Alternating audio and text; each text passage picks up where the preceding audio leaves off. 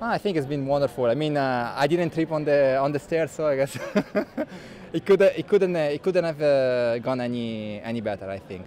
I think I enjoyed quite a lot, uh, and uh, I enjoyed espe- especially the focus which was given to oil and gas. I'm talking about my degree, of course.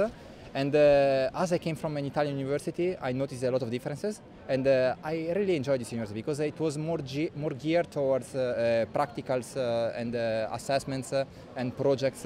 It really felt like working in a company, and sometimes, and that's what I really enjoyed in this university most of all. And then again, the lectures were, were, were very good. People were very kind. The facilities were great and high tech, state of the art. I don't have any complaint, really. Uh, time here was good. Um, I joined quite a few societies. Um, my favourite ones were Dance Society and Chinese Society. Chinese myself, so it was nice to see Chinese people. And Dance Society, I learned like how to dance. You know, it's really interesting. It's really good. It's amazing.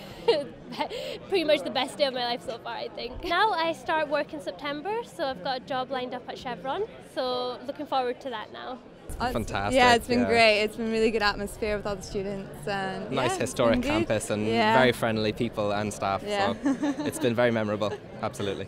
Yeah. We've both got jobs lined up, so yeah. Yeah, starting the next month or two. So Yeah. uh, we're moving swiftly along, as you can say. I've enjoyed it. It's been uh, interesting, thought-provoking, and uh, of course, sunny Aberdeen as it always is. The intellectual rigour of the courses um, is for the oil and gas industry, which is something I'm personally passionate about, unparalleled in Scotland. The people here nice and all that. Like the atmosphere is conducive for learning and all that. Study, the facilities, studying facilities, they're all good. Because my degree is in oil and gas, and this is uh, oil and gas capital of Europe. Uh, the university for itself is specialized. It's really focused on the oil and gas studies, especially the department is focused in the studies as well. So um, that's why I've chosen Aberdeen for my studies.